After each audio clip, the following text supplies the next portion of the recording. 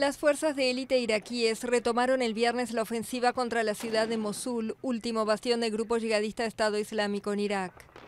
Las tropas entraron por primera vez en los barrios del este de Mosul hace una semana, pero encontraron una feroz resistencia del Estado Islámico, por lo que habían decidido consolidar sus posiciones en la periferia antes de seguir avanzando.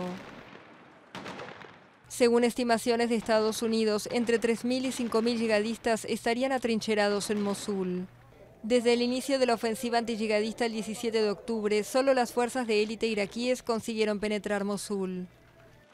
Se estima que unas 47.000 personas han escapado de la ciudad a causa de los combates. La ONU denunció en tanto que el Estado Islámico ejecutó durante la semana al menos 60 civiles en Mosul y sus alrededores, acusándolos de traición. Sus cuerpos fueron colgados de los postes eléctricos. Añadió que hay también información sobre el uso de armas químicas por parte de los yihadistas.